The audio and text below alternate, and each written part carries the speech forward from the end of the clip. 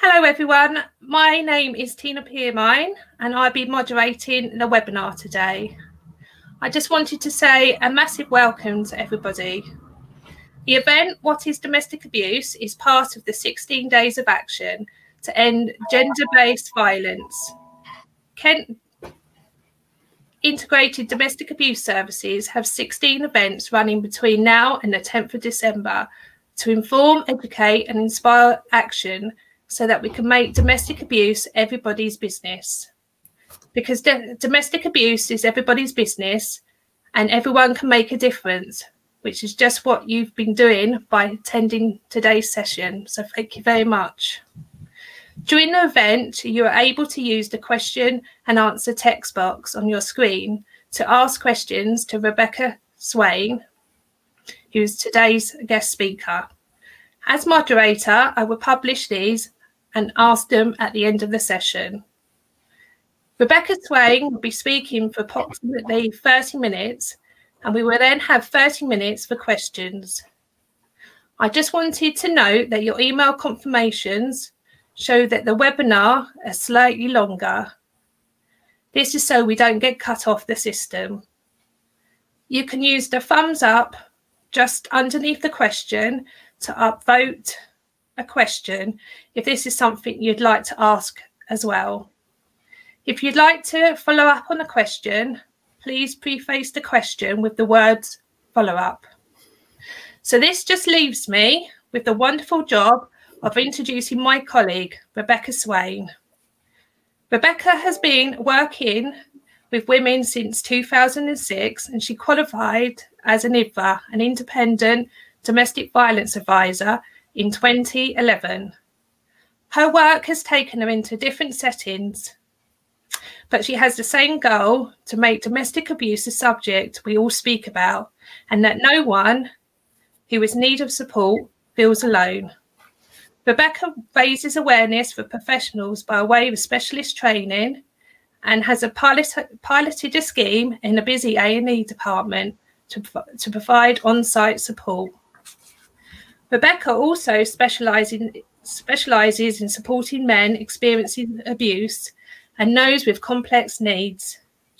Rebecca loves being part of the Look Ahead team and is very delighted to speak in public when she can about the subject.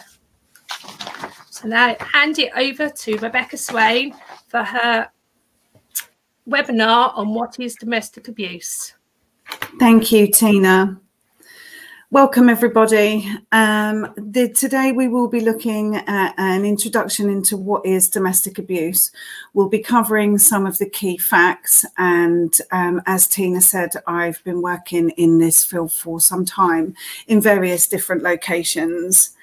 Um, I would like to just give you a trigger warning. So Currently, uh, we are aware that um, some of you joining us today um, may be have experienced domestic abuse, may know someone who's experiencing domestic abuse.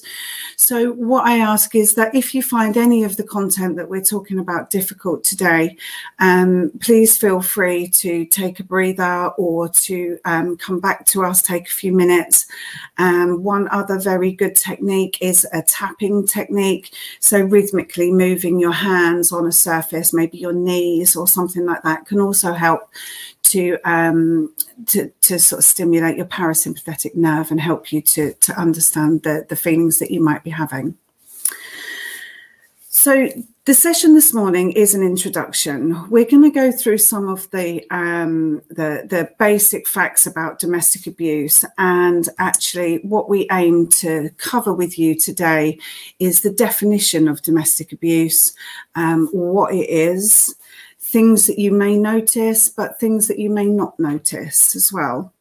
How to ask the question, what barriers there might be for engagement, what the victim wants, advice you can give, and signposting to other agencies.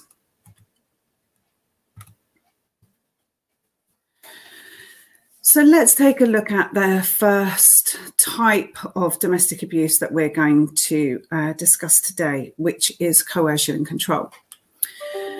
So prior to 2015, uh, there was no law around coercion and controlling behaviour until that point, um, we would be visiting as an IDVA, I would be taking clients to police um, and getting specialist support. And what they would be saying is, you know, an incident needs to happen. There is uh, nothing really that um, protects vulnerable clients around coercion and control. And I'll give you an example of uh, in my working practice, coercion and control.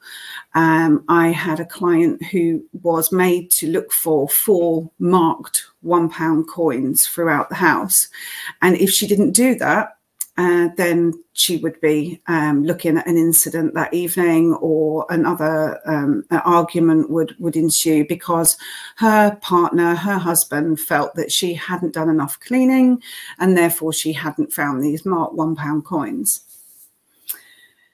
Since 2015, we can use coercion and control. Um, it, it's, it's, an, it's an offence to control somebody in a manner like that so other manners might be uh, making suicide attempts. If you leave me, I will kill myself. Um, uh, using revenge porn, taking photographs and then uh, publishing them to your colleagues, your work, your friends, your family online.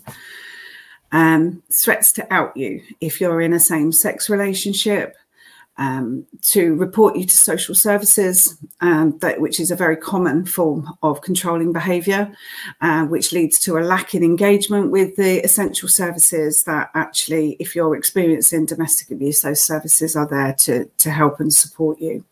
But that instills a fear um, that they're uh, they're going to report you, your children are going to be removed, all all the ways that a head worker might try to um, make you feel as if they've got the power and control pushing you to drop charges, witness intimidation. Counter allegations is another form of coercion and control, um, controlling you through the courts, through child contact, um, or involving you in illegal activity. So, when I'm working with clients, what they say to me is that coercion and control um, they don't recognize to begin with the symptoms. And it's very difficult when you're in an abusive relationship to sometimes recognize these um, methods of coercion and control because domestic abuse is about power and control. Um, it's not down to other factors. It is down to a choice of one person um, to be abusive towards another or, or group of others. So when we're looking at coercion and control, the walking on eggshells type of feeling is something that a lot of clients will report. They manage the situation, they try to keep everything calm um, to avoid an incident. And actually, that is a, a, very damaging form of control, not only for our, our mental health, but for our physical health as well. And domestic abuse is linked to several health conditions um, such as fibromyalgia, um, gastric disorders. You know yourself if you are nervous. I am a little bit today, um, and your your stomach will let you know that there are nerves. Um, if you've got an exam, that that will go straight to your stomach, otherwise known as your little brain, and cause you to feel, you know, jittery tummy, and that is, um, you know, your your um, your nerves will then release hormones, which then have a detrimental effect on, on your body. So coercion and control, a lot of clients say to me is actually um, really, really difficult to live with, um, really difficult to understand. Uh, those behaviours become normalised. Actually, what becomes normal to the person experiencing abuse might look very different to someone um, who has never experienced abuse, and therefore it can be hard to explain it can be hard for other people to understand. How can you possibly disclose to someone who um, doesn't understand the dynamics or the effects of um, abuse as, such as coercion and control?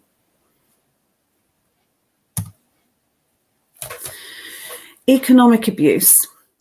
Um, economic abuse can manifest in many different ways. And I think when we look at what we've got on the slide here, preventing employment, um, and now that could be stopping you from getting promotions, stopping you from taking overtime, stopping you from having access to your own funds.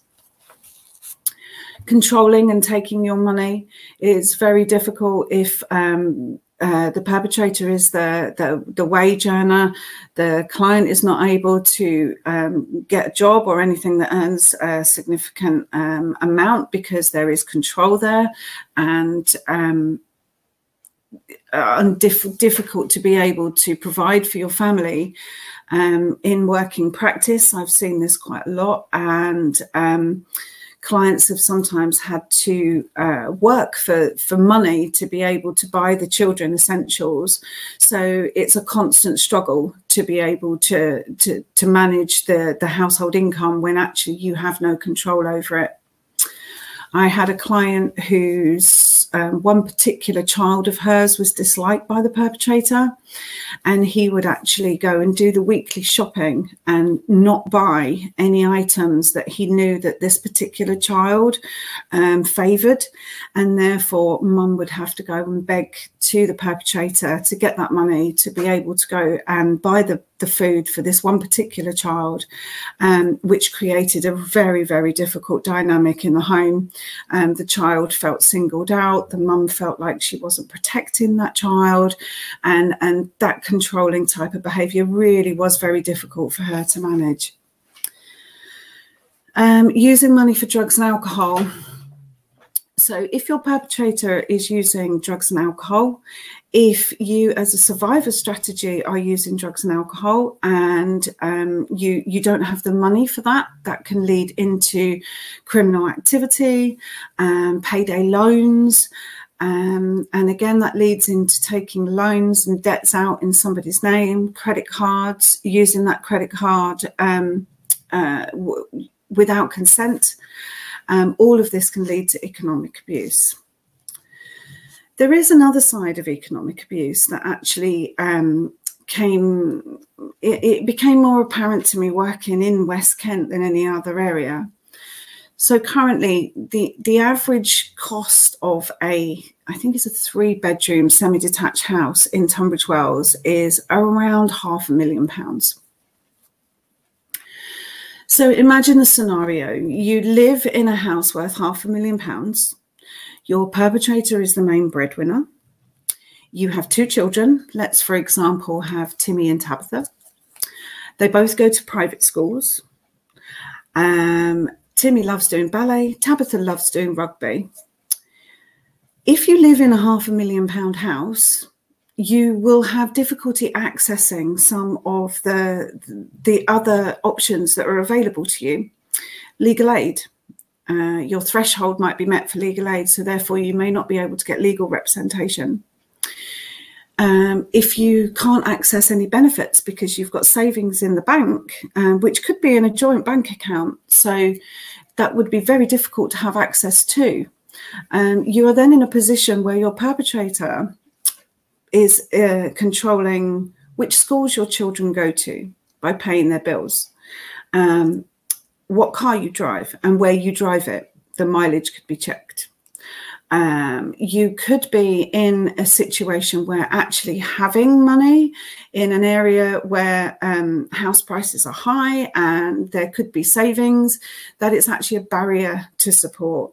So that's very important to um, to understand with your client or your uh, the person that you're working with um, what the economic situation is and and how you would then get access to the help that you would need. Um, so say legal help um, or or refuge, for example.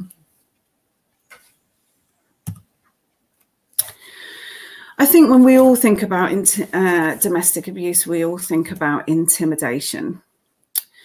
The nature of a domestic abuse relationship is that it is around power and control. And control can be used to create fear.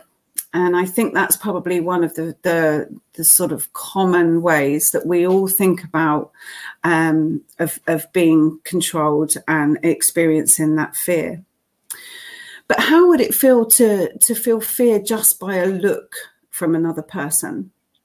Um, when I worked in the A&E department, my biggest allies were the ladies on reception.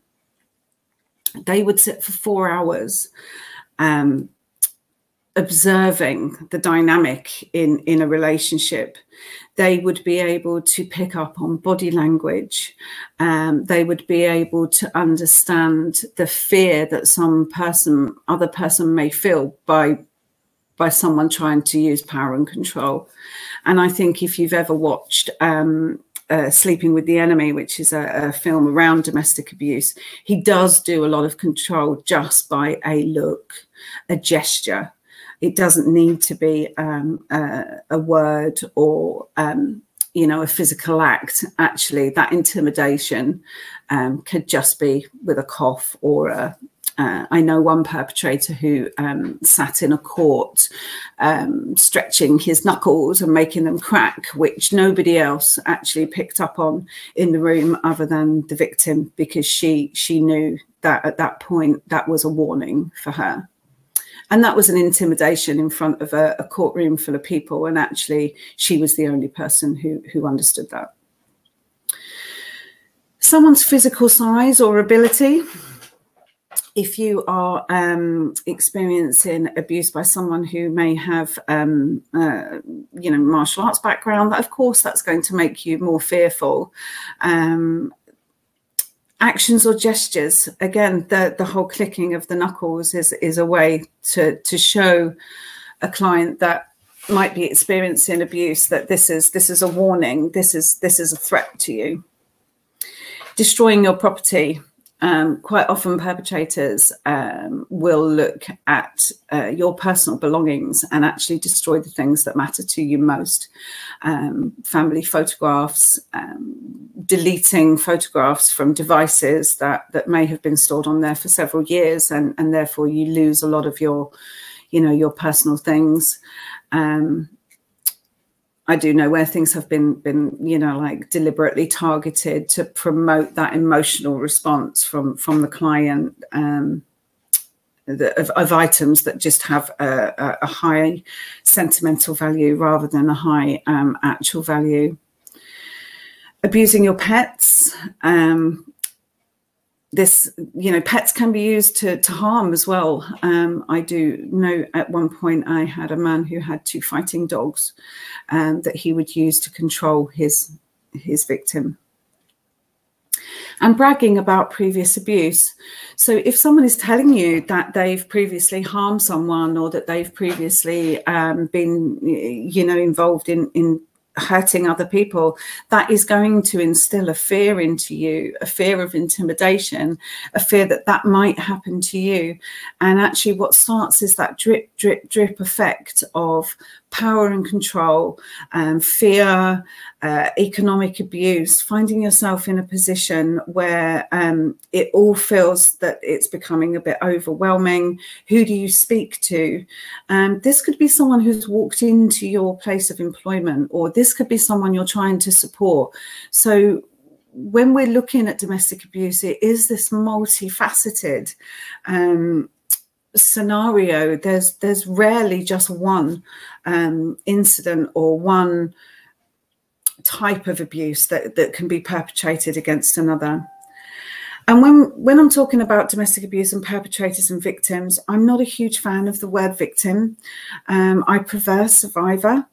Um, I know that in our professional worlds, um, you know, we are trying to make domestic abuse feel less like a subject that we can't talk about. The whole purpose of this this is to make DA everyone's uh, everyone's business. So using the word victim is actually um, something that I try not to do.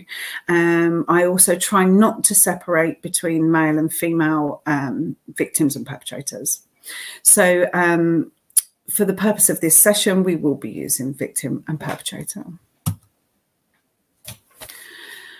Isolation, a really common form of domestic abuse. Imagine you are a client who has a large family.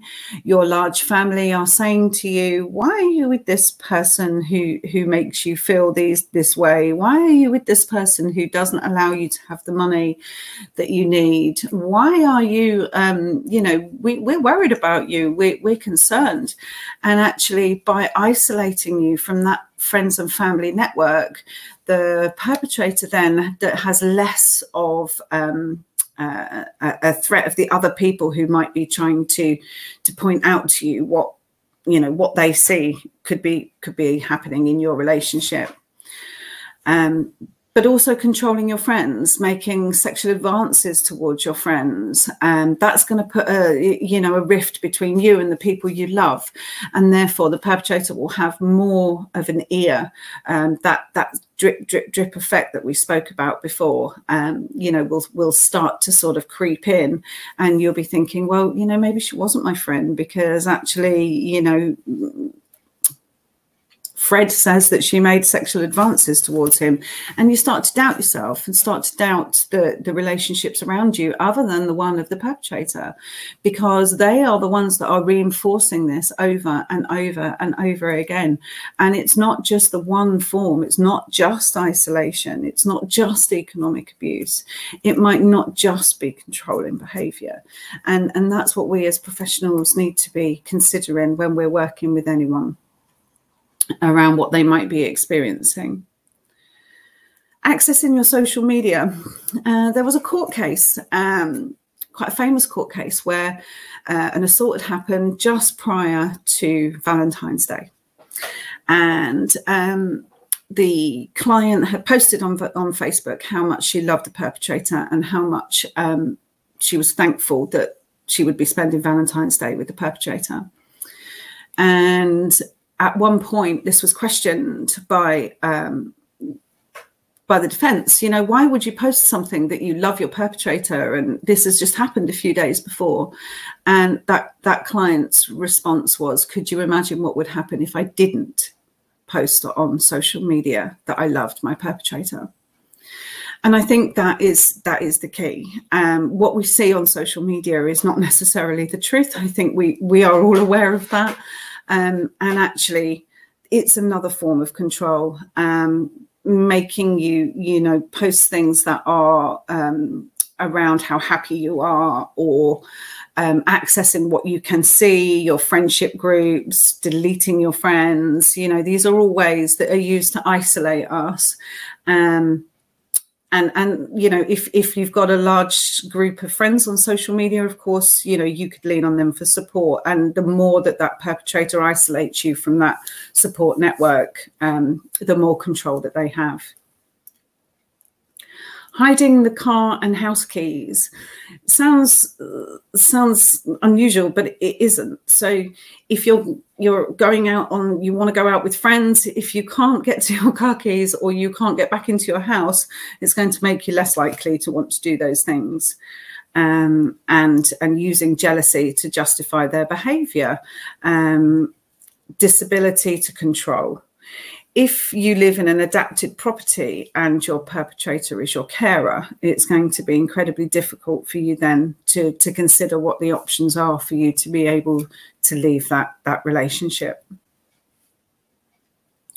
Isolation is not just um, by the ways that we see here either. Um, isolation by location is actually quite common. Um, moving to areas where there are no friends and family, or maybe it is a very rural location where if you ran out into the street, you know, it would be a mile or so before um, you, anyone would find you. So again, um, you know, that, that should be taken into consideration when you're trying to support clients who are experiencing DA. So, stalking and harassment. Um, there's a very sinister uh, undertone to the stalk, stalking behaviours, and I think we, you know, we've only got to look at some of the high-profile stalking cases to understand that this is a situation that we as professionals must be responding to. Um, I can remember about 10 years ago uh, reporting to police. My client was receiving flowers every single day on her doorstep. And actually, the response was, he must really love her. Those flowers were lilies, there were wreaths. Um, it's a very intimidating situation to have someone stalking you, you not knowing where they are. Um, calling you up to tell you what you're wearing is is lovely or you know this is a very um, concerning pattern of behaviour. Um, we're very fortunate in West Kent to have an organ excellent organisation, Protection Against Stalking, who I would recommend that if you have any issues with anyone you're trying to support, that you, you seek support from them um, and advice. Unwanted communication. So what does that look like? Um, a phone in your pocket might as well be the perpetrator in your room. They will constantly calling, calling, calling. Um, you know, this this pattern of unwanted communication, making you feel pressured, making you feel as if someone is is tapping you on the shoulder, is always looking, you know, into your world. Because actually, our phones um, can be a way to, to abuse us with not only sort of tracking devices, um, you know, Find My Phone um, application is a tracker. Um, if that if your phone is registered to another person, your perpetrator, it's quite likely that they would be able to access that online and actually find out where you are. Um, if you are supporting someone or you know you are um, yourself experienced in this and you you find that where you go coincidentally and so is that other person then it's it's definitely worth asking the question around whether or not your phone has a um, tracker in it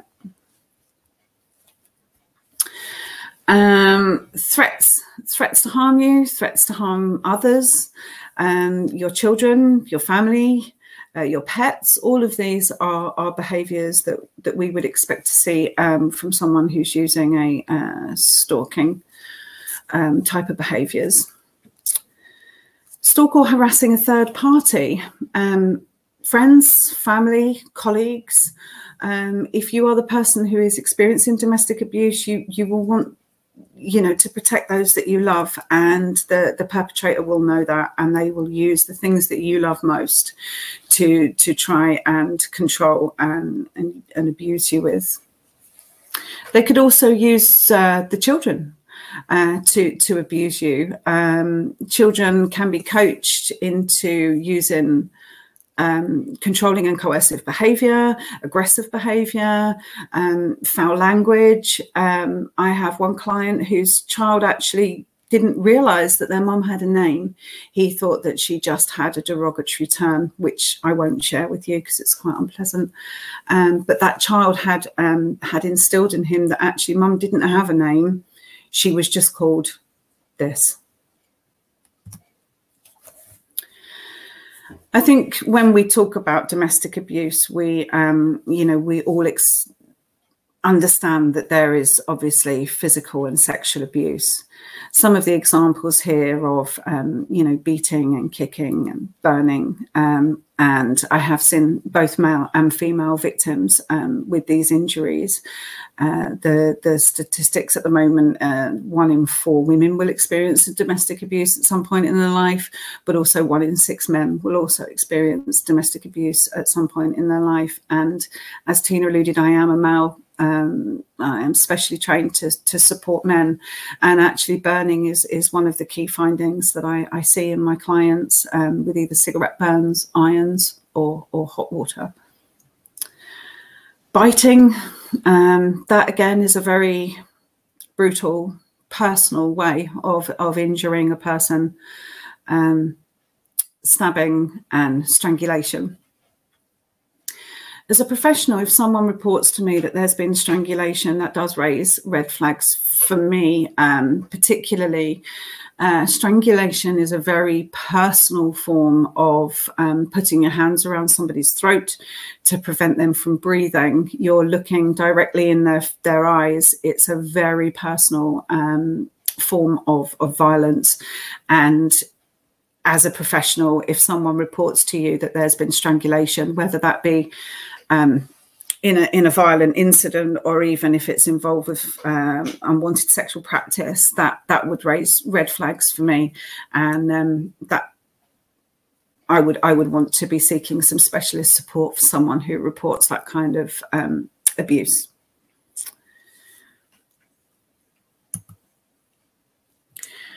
So some of the statistics, 80% um, of clients are not visible to services why is that? Why is that we as a society are actually very good at child protection? Um, I'm a child of the 70s.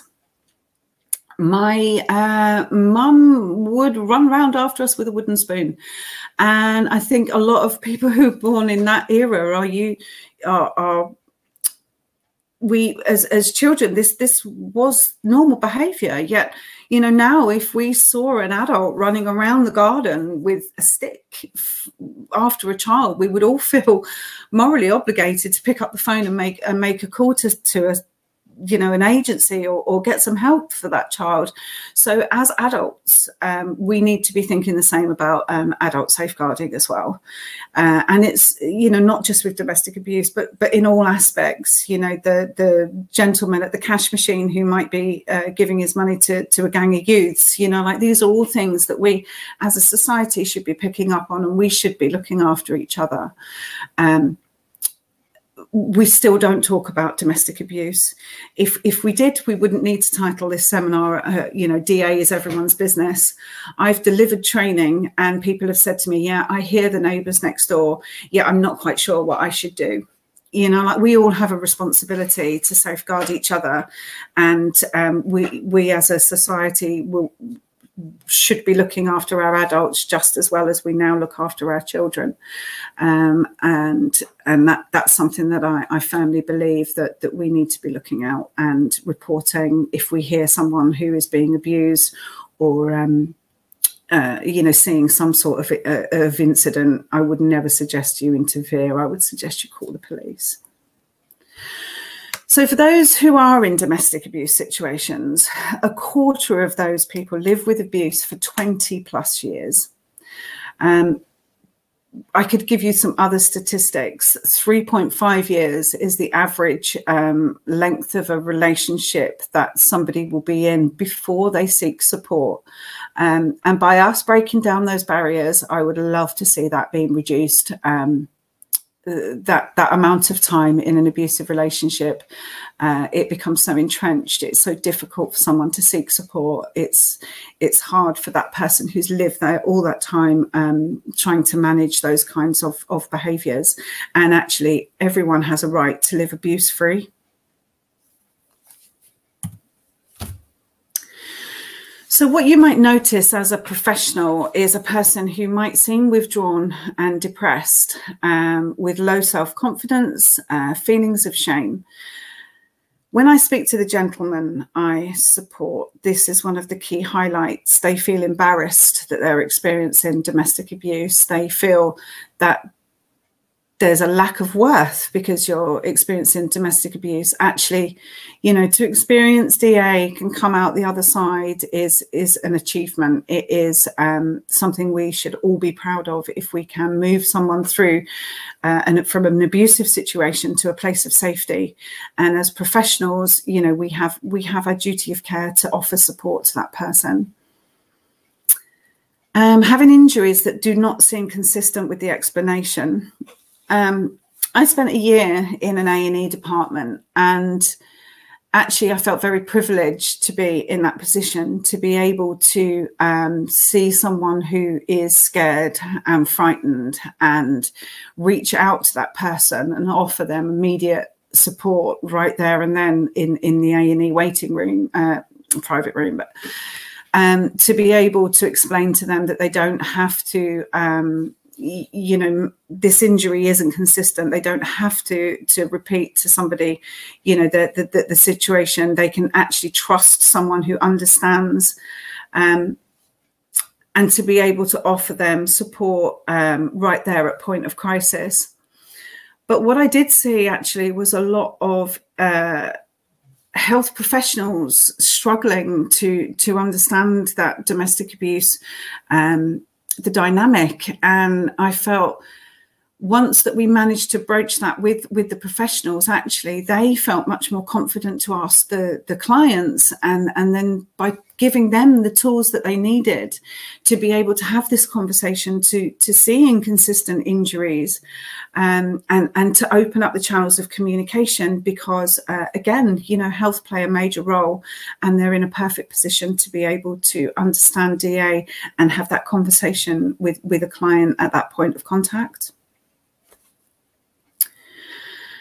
Um, technology use as social media platforms being monitored. So um, I did touch on this a little bit with the stalking, but again, you know, we are fortunate to have a cyber clinic in West Kent where we can have our um, we can make appointments for clients to have their devices checked for for trackers. Um, for people who might have access to their emails and be able to monitor their movements through their diaries.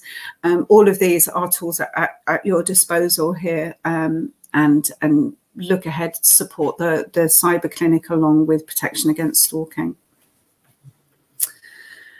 Um, negative coping strategies. Um, my colleague and I um, do a lot of training around survivor strategies.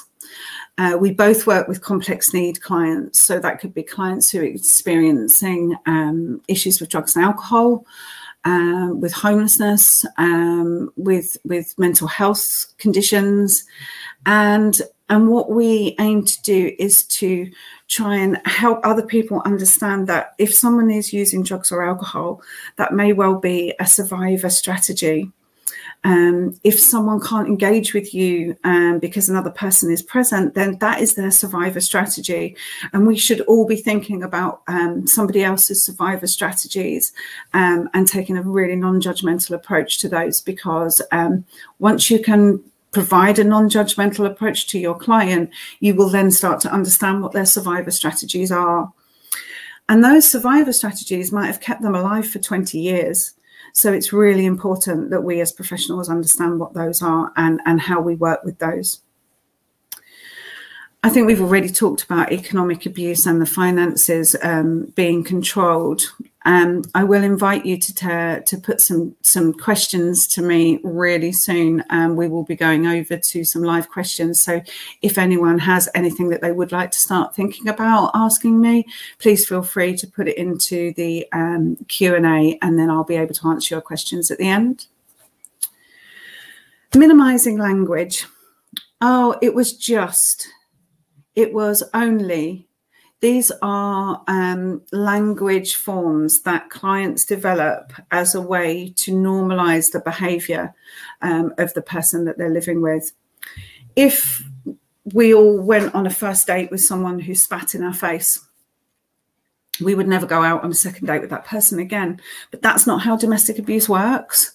Domestic abuse is a slow um, prog- progressive um, form of abuse that actually um, starts to make us feel about whether it is our fault, is it our um, behavior? You know, if you didn't wind me up, I wouldn't have to do that.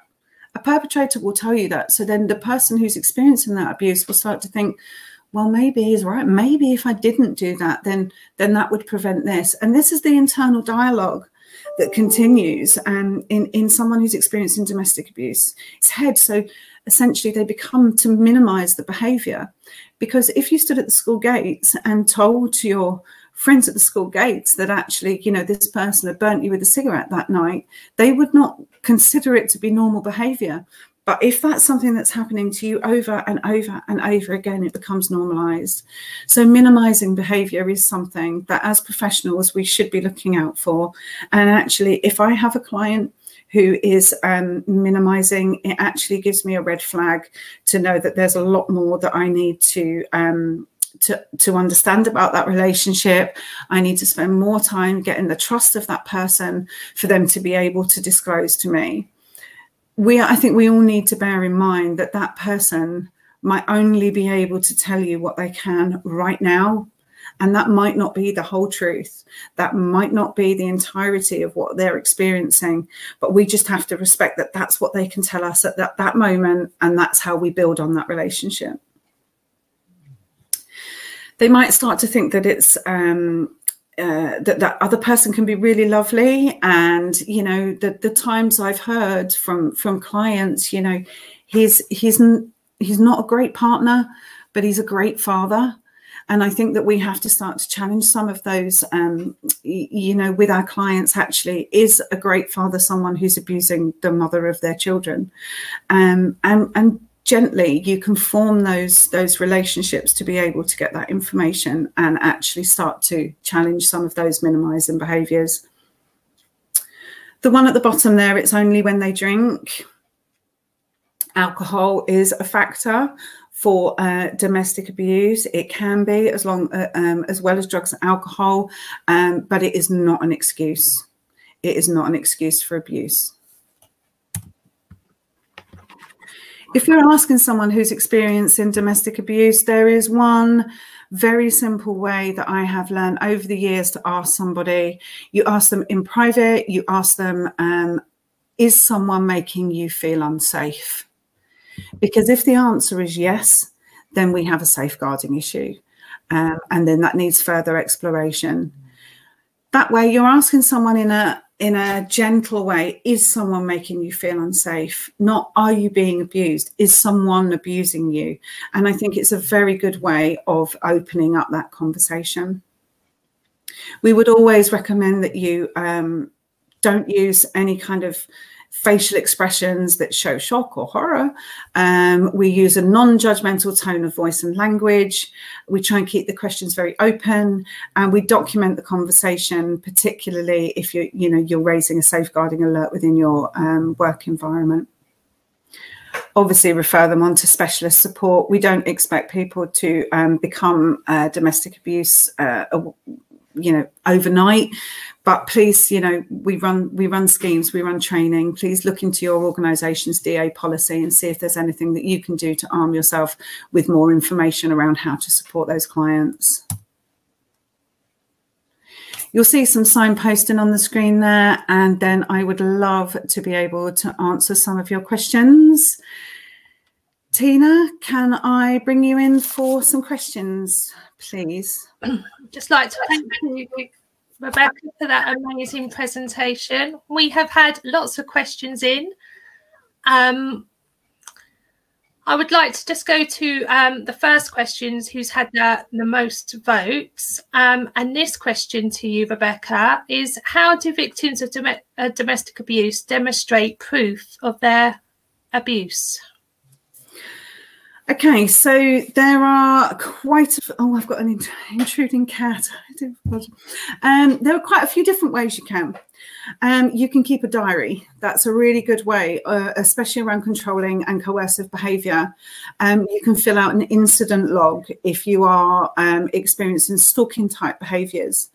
Um, reports of uh, hospital visits, admissions, doctors, you know tell your doctor if you're experiencing da um, you know it's it's very difficult to open up but find someone who who you trust and and you know try and get them to to understand your situation and help you to to keep a diary of, of those incidents. Um, obviously, there are police call out records, other ways like that um, that you can you can show proof of the, the situation that you're in. Um, if it's coercion and control you're experiencing, I will be running a workshop dedicated to this, and I will be providing you with the tools that you need to be able to um, to prove coercion and control, which is notoriously difficult to to try and uh, record. Oh, we've also got a question, Rebecca. Is where do people go first um, with um, if they really feel ready to get help? Um, you can contact your local IDVA service. Um, IDVA is Independent Domestic Violence Advisor. That's myself, someone like myself, who will offer you um, impartial advice and safety planning. Um, you can uh, Google it in if it's safe to do so. Otherwise, you could speak to maybe your local authority. Every authority has has an IDVA service available, and and they would be able to signpost you to anything in your area that might be able to help. Um, we also have one-stop shops in West Kent which um, are currently um, running virtually. So it would be um, somewhere where you could get all the answers to what you might be uh, needing questions to in one place. And hence why it's called the one-stop shop. We have housing providers, we usually have police, we usually have um, someone like myself um, or other organisations that are there to, to, to offer you advice in, in that one particular spot. Thank you, Rebecca. Um, we've had a lot of questions about um, men uh, or perpetrators who are abusive to their partners. Um, where can they um, seek help? Perpetrators of abuse seek help and support.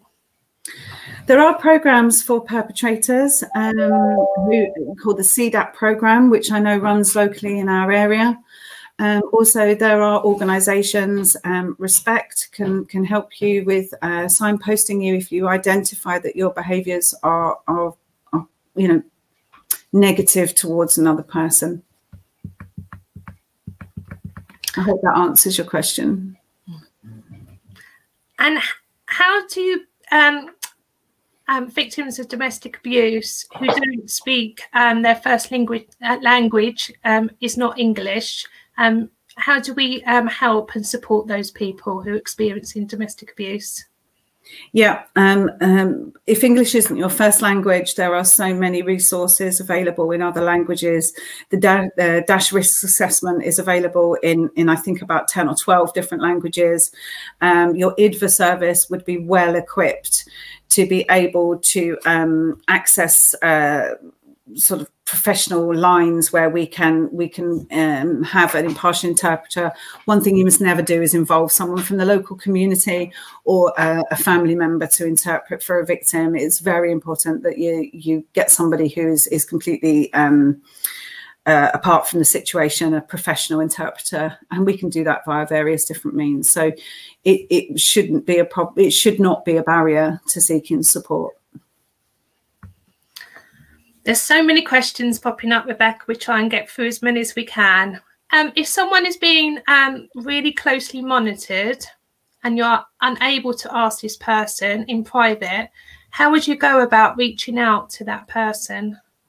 That's a really, really good question, actually. Um, what I can do is give you some examples in various settings. So, in multi-agency professional meetings, we will work with other agencies to create scenarios where we might be able to get um, the person who's experiencing domestic abuse on their own. Um, your health visiting team will create um, opportunities for children to be seen by the doctor, and therefore we can coordinate approaches um, with health. Um, if you are in a health setting, um, you can maybe ask that person, um, to, you know, to be weighed. Um, we need to just take you to, to get you weighed or just to check your blood pressure in private. Um, if it's really impossible for you to ask that person, um, Look Ahead provide a resource around it is a pack of tissues, and on the barcode of those tissues, we um, have a, a helpline number. Uh, now we work with our partners to to provide those with that with that. Obviously, again, it's about the safety of that client. If it's not safe for you to explain to them this pack of tissues um, has a barcode on it, then it might be worth looking, you know, raising it with a manager to see if there are any other organisations you can bring in to try and um, create create a scenario where um, you can speak to that person in private. What would be that would be better than than trying to um, speak to someone where, where there might be a risk present. Um, really important because that that person may never come back and seek support again or approach you for support if if if the risk increases. Um, so I would say get advice and work with your partners to try and get that person into a position where you can speak to them in private. Um, thank you, Rebecca. Um, this question has had lots of votes and it's as a as a male what can i do to be an ally ally ally? Sorry. Yeah. Got a bit tongue tied then. And to both male and females that are currently experiencing domestic abuse and are survivors. Okay as a male i actually as a male or a female, I think we can all be allies. Um, you can you could join the White Ribbon as a um, uh, I think it's an ambassador for the White Ribbon campaign. That would be really good. That would give you some specialist training around domestic abuse. You could become a uh, domestic abuse champion, which is something that Look Ahead are really keen to progress. And this could be in your workplace or um, uh, you know, if, if you run a business or you you have a, a, large organization, you could train to be a, a, domestic abuse champion, get some um, information that way. But essentially, making yourself domestic abuse aware, uh, attending uh, sessions like today, where you are um, you know, uh, uh informing yourself on ways to actually support people, um, you know, I am more than happy to keep, uh, you know, I, I, support men. So I am always looking for suggestions around um, the way that I can improve my practice. Um, so, you know, if, if you've got anything that you would like to ask me, feel free. Uh, please come to me as a male who would like to be an ally or who might be interested in one of our training programs.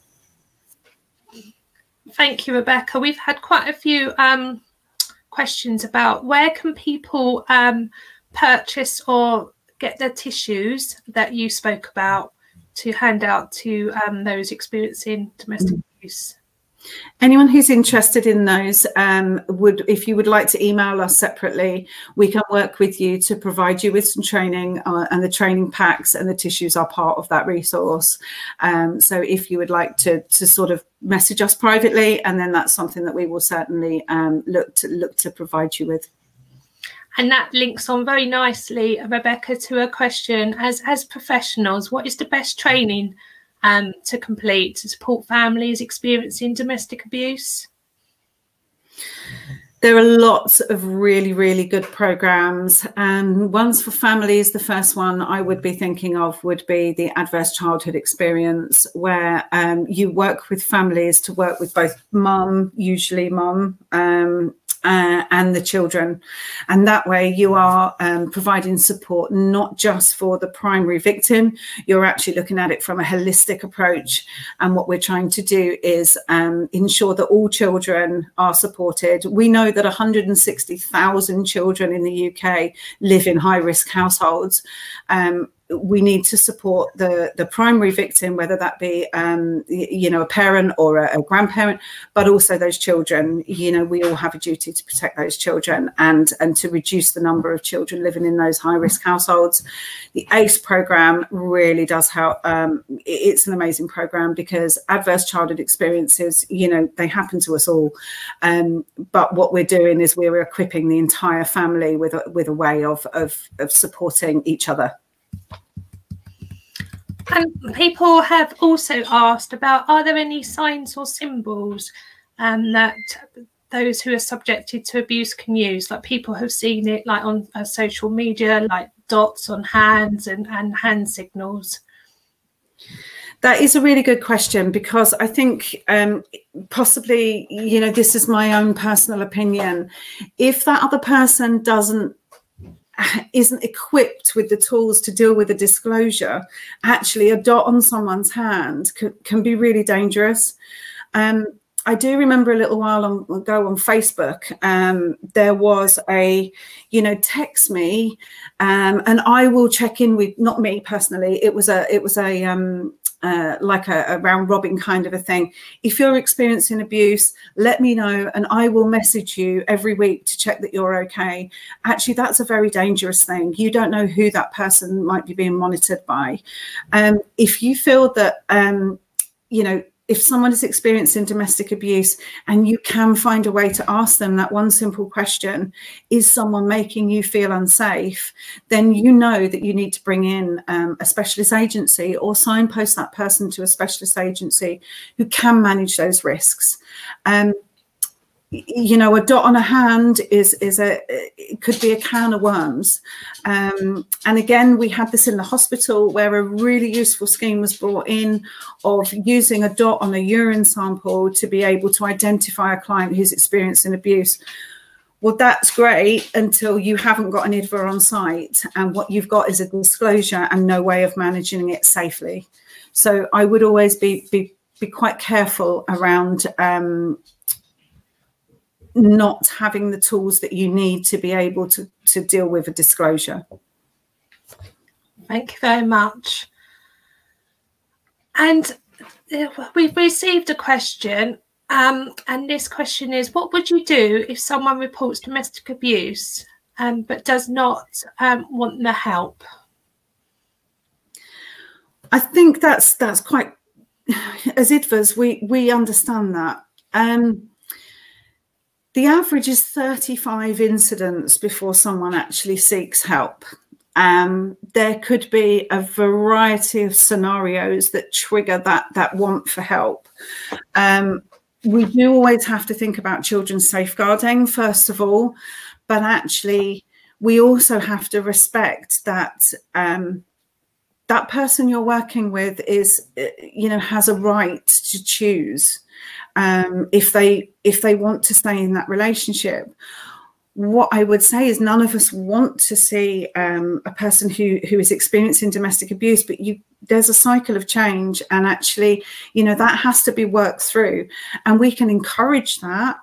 And the the most important thing that we can do as as people supporting uh, um, uh, someone is to offer a positive response we we won't be judgmental. We won't try um, and say to them oh you shouldn't be doing this. You shouldn't be doing that because actually that's their choice.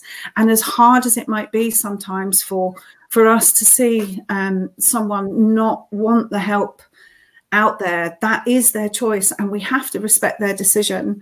Um, we must take all the relevant steps to safeguard. Um, uh, you know, if someone's not got capacity, or if someone uh, has children, uh, if someone else close to them is being supported. But it, it can be one of the hardest things as as someone supporting uh, in a supporting role is is when that person does not want your support. But actually, the next time they'll remember that positive response that you gave and they'll think to themselves mm, i know i remember who gave me that um, you know that encouragement or someone who, who, who wanted to help me and i'll either go back there or i'll seek somebody else like them. So it's that positive response is really really important and you might just be that professional that someone else has given a positive response to and they seek support from. Um, rebecca um, I'm afraid we're going to have to wrap up the questions. There's so many um, questions keep popping up. I'm sorry um, I didn't get to everybody's questions. Um, people have been asking because we've been mentioning a look ahead and our email address and things like that. Would you like to just quickly, briefly, just explain the organisation we work for so that people can contact us? Yeah. So look ahead provides um, uh, safe accommodation across the whole of the, the UK. But here in Kent, we we are uh, the commission service for, for domestic abuse for West Kent. Uh, that means myself and my lovely colleague here, Tina. Um, we are um, part of the domestic abuse service and um, we, we offer support directly to clients. Um, we run programs, we offer training, and um, we're both really, really passionate about what we do. Um, that's why it's taken 56 minutes and I haven't stopped talking, yet. Um, but yeah, if you've got any inquiries, please feel free. Um, I, I'm more than happy to come back to anyone who'd like to know a bit more. Brilliant. Well, that just leaves me to thank you. Thank you very much, Rebecca um, Swaine. Got used to saying your second name. Um, that was absolutely fantastic. Thank you. And I'm, I'm, I'm sure, I'm guaranteed that everybody will have got something um, from this presentation to go away and think about. Thank you to everyone who um, asked a question. There were so many coming through. I was finding it difficult to keep up with you all. So thank you very much. And that really added to our question and answer um, session at the end. A recording of this webinar uh, will be made to you um, available very shortly. Um, if you enjoyed this event, please do note that there's still time to register for upcoming webinars. So your um, journey doesn't need to end here. So please go to um, www.daeverybodysbusiness.org to register. There's plenty more, and you'll be pleased pleased to hear that Rebecca Swaine and myself have got many more presentations to go. Um, we can also keep the conversation going with the hashtag DA Everybody's Business and hashtags um, Know See Speak Out. If the talk today has raised anything with you personally and you'd like to find out more about the services available, please visit the www.domesticabuseservices.org.uk where you can find out more about how to refer to your local services and you will find ourselves uh, look ahead on there so you can contact us for any more support advice and training if um, you'd like this so thank you very much everybody. Have a great day. Thank you everyone and thank you tina supporting me as always